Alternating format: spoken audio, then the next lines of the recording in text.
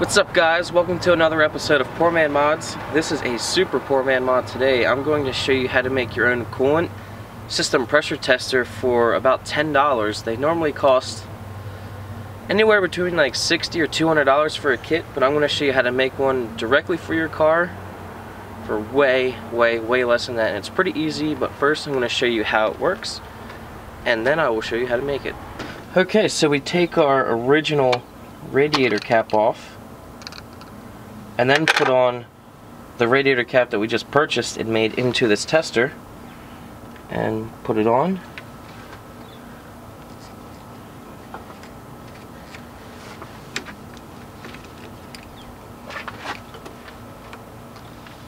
And it's pretty tight. But it is on now. Take the cap off and take a tire pump. Ideally you would want one with a gauge on it, but I don't have one with a gauge. So I have to pump it up bit by bit to see the pressure. Now, you want to know the pressure rating of your cap before you do this. Like, for example, this cap is a 13 pound cap. It doesn't say on here, actually it does say on here, it says 0.9, and that's 0.9 bar barometer, so 0.9 of 14.7 psi, which is 13. So you want to find out what your pressure rating is because if you pump it up higher than that, you could create a leak that you didn't have before. So you don't want to go over your pressure rating. So I'm not going to go over 13.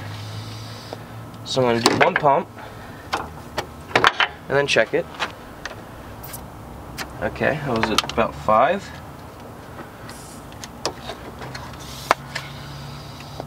Another pump.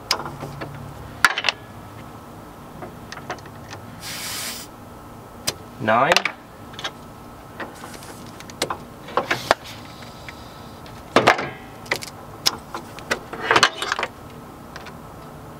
Perfect. Right about 13.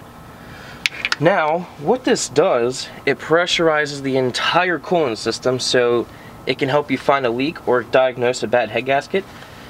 Um, what you would do, like, for example, you pump it up and you would see if you see any coolant dripping, and I do right here from this upper radiator hose. So we know we need, we need to tighten it, but I'm going to loosen the clamp so you can see a better visualization of a leak and how to fix it. So let me do that. Okay, so I loosened up this clamp a little bit and I'm going to pressurize it again just to show you that it is actually pressurizing the system and not just the radiator.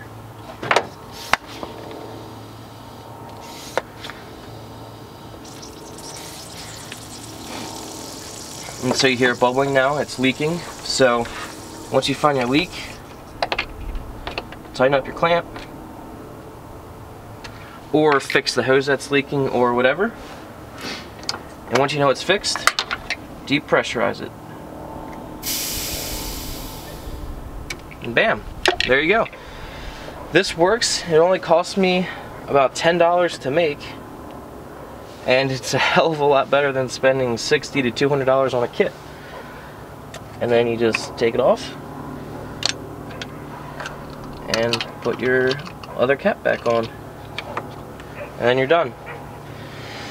Now assuming you don't have any coolant leaks and you want to find a head gasket leak what you would do you would pressurize the system and you would leave this gauge on here and see if the pressure drops. And if there's no leaks externally and the pressure drops significantly in a short amount of time, maybe a few psi in a minute, then you probably have a head gasket leak. Now it's going to leak a little bit because most gauges, especially gauges on these tire pumps, do not seal 100%. So there is going to be some leak, but if it's significant, you could have a head gasket leak. But like I said earlier, don't pressurize this too much or you could make your own leak and then make your car a piece of crap and then you're want to cry and get rid of your car and part it out and be done with cars forever. So don't do that. And now I'm to show you how to make this bad guy. I'm going to be making a coolant pressure tester today because my local store is out of one so I'm going to make my own. All you need for this is a drill bit, a tire valve stem, a radiator cap for the car that you're testing, some RTV, and a cotter pin.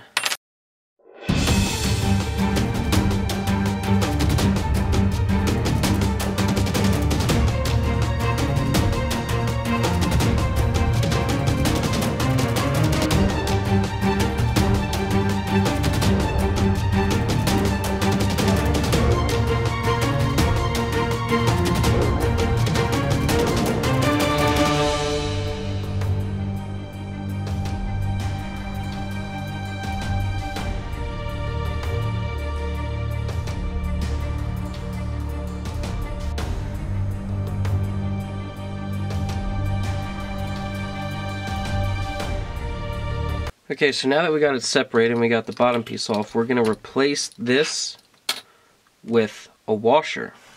So what we're going to do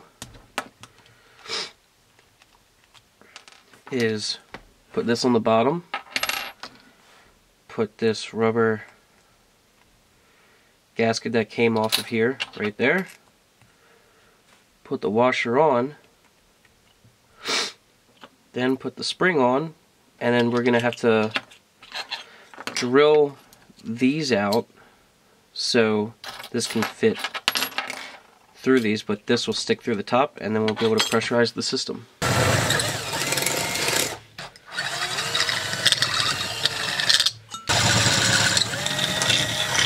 Okay, so once you get these two pieces drilled out, you can go ahead and put the gasket on here, and we're actually going to discard this piece and the spring. We actually don't need them.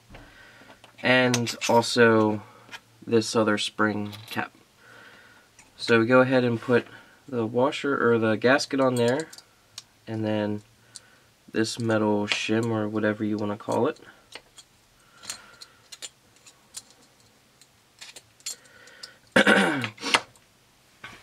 and I believe this part is actually what helps seal the radiator cap. This goes in the small hole in the neck and this along with this gasket seal it. So I, am discarding this because I had a lot of trouble getting the centerpiece out, but I found a washer that is the exact same diameter of this. So what I'm going to do is put the gasket on this washer and then put the gasket over the valve stem all the way down. Just like that.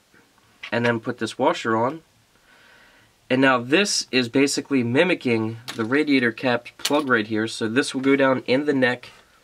This will seal it, and then this will be below, pumping air in, and then this will seal it so air won't get back up and go into the overflow. And this is the trickier part because it takes a lot of force, but now, since you have all this drilled out, you have to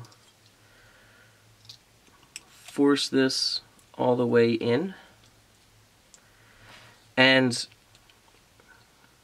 it's this is actually a lot easier than it was before because this is the second time I did it and it's kind of like worn down and stuff, but the first time I did it, it was pretty difficult to get this on. But now you can see the threads are sticking up, but there's rubber there, so putting a nut on here wouldn't really seal this properly, and we want this to be secure so this doesn't fly off if there is a leak. So what I'm going to do is take this cotter pin, boom,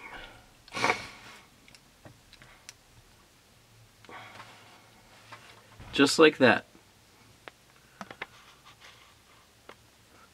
It's sealed. The cotter pin's holding it on. This thing is not coming out. and this is what it looks like. And I didn't need to use this RTV at all. So let me just reverse dissect this for you again so you can see what all is on it. It's just this cotter pin, the radiator cap, cap, along with the top gasket from it and the shim and then a washer that is the same diameter of the plug.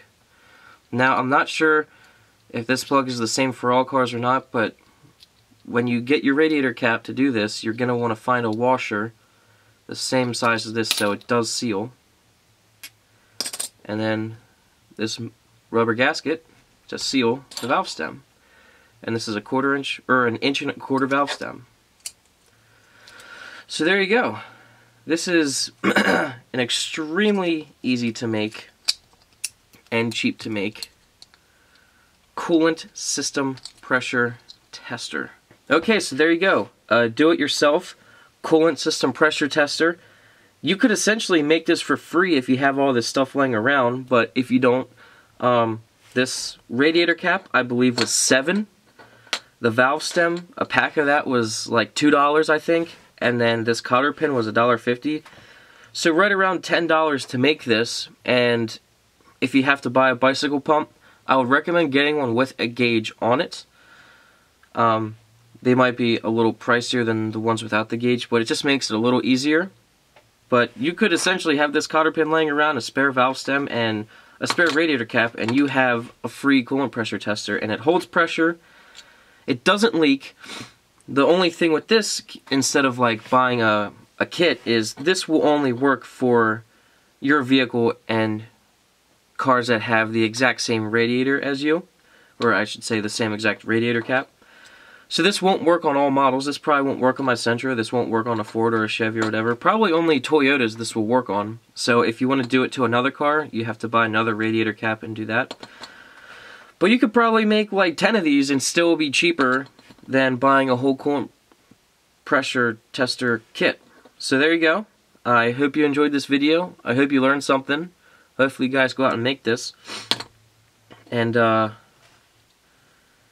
get a sense of pride in making your own tools like this. Like, this is a really simple thing to make, and for some reason, like, when I made it, put it on the car and didn't leak, you, you just get a sense of accomplishment. Like, you made a tool yourself, and it's awesome. I'm going to put this in my tool drawer, never throw it away until it breaks.